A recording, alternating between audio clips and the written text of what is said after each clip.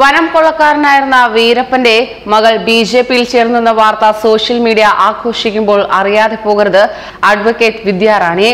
ആദിവാസി മേഖലകളിൽ പ്രവർത്തിക്കുന്ന സന്നദ്ധ പ്രവർത്തക രാഷ്ട്രീയത്തിലിറങ്ങുമ്പോൾ വനം കൊള്ളക്കാരനായിരുന്ന വീരപ്പന്റെ മകൾ കഴിഞ്ഞ ദിവസമാണ് ബി ജെ പിയിൽ ചേർന്നത്.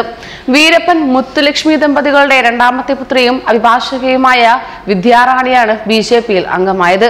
ബി ജെ പി നേതാവ് പൊൻ രാധാകൃഷ്ണന്റെ സാന്നിധ്യത്തിലായിരുന്നു വിദ്യാറാണി പാർട്ടി നേതൃത്വം ഏറ്റെടുത്തത്. തമിഴ്നാട്ടിലെ കൃഷ്ണഗിരിയിൽ സന്തനക്കാട് വെച്ചാണ് ബി ജെ പിയിൽ ചേർന്നത്. കാട്ടുകള്ളൻ വീരപ്പന്റെ മകൾ ബി ജെ പിയിൽ ചേർന്നു എന്ന വാർത്തകൾ വന്ന ഉടനെ തന്നെ പലരും ട്രോളുകളുമായി സോഷ്യൽ മീഡിയയിൽ സജീവമായിരുന്നു. എന്നാൽ വീരപ്പനെ പോലെ അല്ല മകൾ. അഭിഭാഷകയായ വിദ്യാറാണി ആദിവാസികൾക്കിടയിൽ പ്രവർത്തിക്കുന്ന സന്നദ്ധ പ്രവർത്തകർ കൂടിയാണ്. ആദിവാസി മേഖലകളിൽ ഇവർ സുപരിചിതയാണ്. എന്റെ പിതാവിന്റെ ലക്ഷ്യം ജനങ്ങളെ സേവിക്കുക എന്നതായിരുന്നു. എന്നാൽ അതിന് തെറ്റായ വഴിയാണ് അദ്ദേഹം സ്വീകരിച്ചത്. ഞാൻ ജനങ്ങളെയും രാജ്യത്തെയും സേവിക്കാൻ ആഗ്രഹിക്കുന്നു. അതിനാലാണ് ബി ജെ പിയിൽ ചേർന്നത് എന്നായിരുന്നു അംഗത്വം നേടിയ ശേഷം വിദ്യാറാണിയുടെ പ്രതികരണം. ഐ എ എസ് ഉദ്യോഗസ്ഥയാകുകയായിരുന്നു വിദ്യാറാണിയുടെ ആദ്യ ലക്ഷ്യം. എന്നാൽ സിവിൽ സർവീസ് പരീക്ഷയിൽ പരാജയപ്പെട്ടതോടെ ആ മോഹം ഉപേക്ഷിക്കുകയായിരുന്നു. കേരളം ഉൾപ്പെടെയുള്ള ദക്ഷിണേന്ത്യൻ സംസ്ഥാനങ്ങളിലെ വനം വകുപ്പിനും പോലീസിനും പതിറ്റാണ്ടുകളോളം തലവേദനയായിരുന്നു വീരപ്പന്റെ വിളയാട്ടം. കൊമ്പിനായി ആയിരത്തിലധികം ആനകളെ കൊന്ന വീരപ്പൻ നൂറുകണക്കിന് കോടി രൂപയുടെ ചന്ദനത്തടിയും വെട്ടിക്കടത്തി പോലീസുകാർ ഉൾപ്പെടെ നൂറിലധികം പേരെയും വീരപ്പനും സംഘവും ചേർന്ന് വകവരുത്തിയിട്ടുണ്ട്.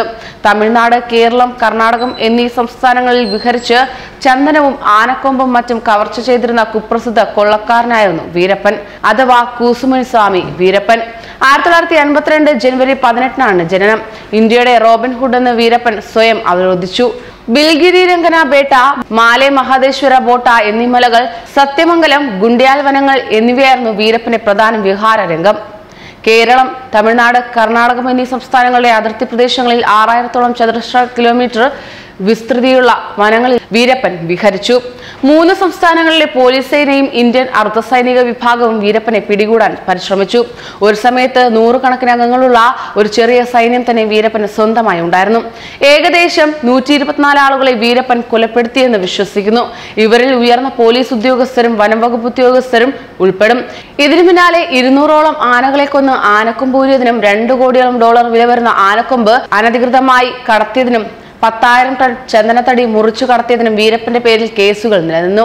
വീരപ്പനെ പിടികൂടാൻ പത്തു വർഷത്തെ കാലയളവിൽ സർക്കാർ ഏകദേശം ഇരുന്നൂറ് കോടി രൂപ ചെലവഴിച്ചു.